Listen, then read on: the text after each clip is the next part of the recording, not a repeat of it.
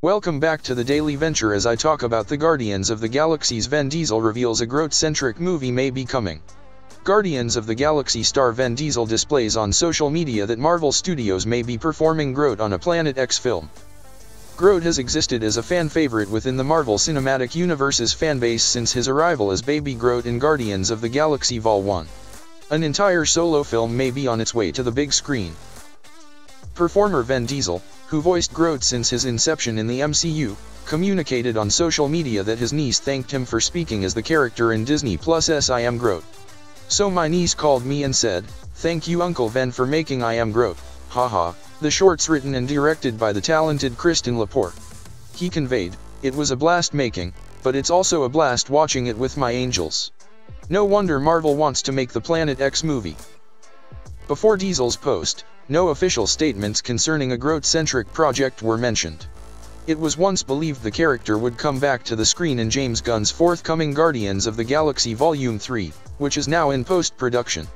It is unsure if Gunn, who acted as executive producer on I Am Groot, is implicated in the approaching Planet X project. Groot last arose, albeit shortly, in Thor, Love and Thunder, which ended the titularous Guardians tales with the Guardians of the Galaxy following the circumstances of Avengers, Endgame. Groot was revealed to be in his teenage or young adult settings, not yet wholly regrown into the adult alien audiences were presented to in 2014's Guardians of the Galaxy Volume 1.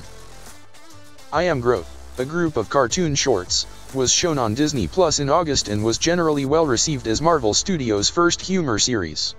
Its location within the MCU principal series has apparently gone into a discussion. However, Gunn stated, some folks at Marvel seem to think it's canonically MCU. I find that hard to see myself. Before its release, Gunn clarified the shorts stand as canon to themselves, I'd think.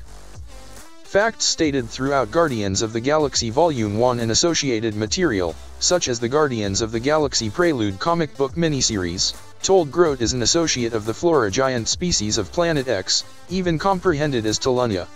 The MCU's core film saga has not yet explored the planet and Groot's species. Guardians of the Galaxy Volume 3 is planned to come to theaters on May 5, 2023. So that was the news for today. What are your thoughts on a new Groot animated series? Are you for the new project? Thank you for watching, and please leave a like and comment below, as I would greatly appreciate it. Until then, venture onward.